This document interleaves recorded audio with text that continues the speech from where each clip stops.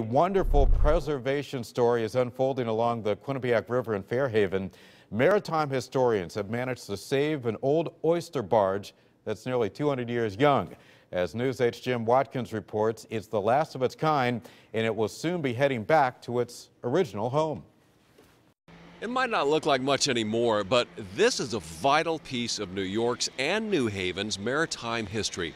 An old oyster barge sitting on a marina on the Quinnipiac River in Fair Haven. I felt that it was it was very important for this barge to survive and live again. New Haven artist and local historian Robert Greenberg has been one of the key players keeping hopes for the oyster bar afloat. Loving New Haven history, loving New York City history, I discovered that this barge had many lives in both locations.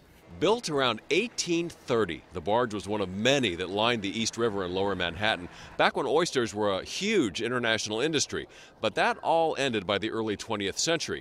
In 1921, the barge was towed to its Connecticut location and began serving up a product that never goes out of style. Now became a Prohibition era speakeasy. That's what the word is, that the rum runners came through here and, and this was a, a place where that uh, activity happened. Later, it became a restaurant, then a piano bar, until it closed in 1987. Lisa Fitch used to come eat here with her parents. She bought the marina in 2007 and wouldn't listen to anyone who told her to tear it down. It has all the makings of a great historical package. You know, the, the, the, the vessel has a lot to say.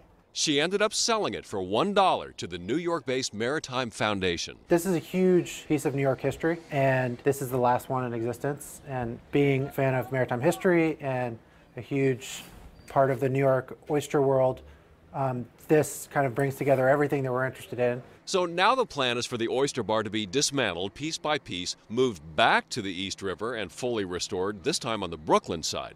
Lots of money still needs to be raised, but the fact that it has a future at all is a maritime preservationist dream come true. Jim Watkins, News 8.